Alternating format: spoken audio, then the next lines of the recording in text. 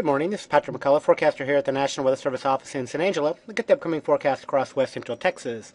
And although uh, some areas did see some um, some rainfall yesterday morning, a little bit of hail actually mixed in as well.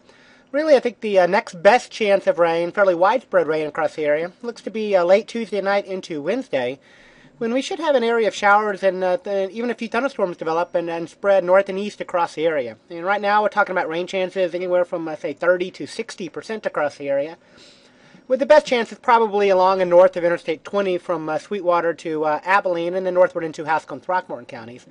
But but uh, looks like some decent chances even further south toward uh, San Angelo and Brownwood and Brady as well.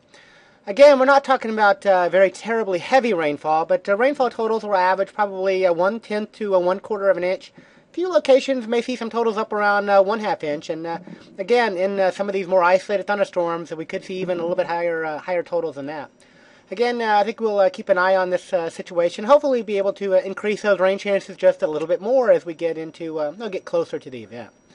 Coming back to today, dry and uh, partly cloudy to mostly cloudy across the area today. Again, high temperatures a little bit warmer than where they were yesterday. We're talking high temperatures in the um, say upper 60s along portions of the big country from Sweetwater up toward Throckmorton, over toward Brownwood and San Saba as well, where the clouds will hold in warmest the conditions across the, uh, the Concho Valley, where a little bit of sunshine by afternoon will allow uh, temperatures to climb up into the lower 70s. Thank you, and I will continue to keep you updated.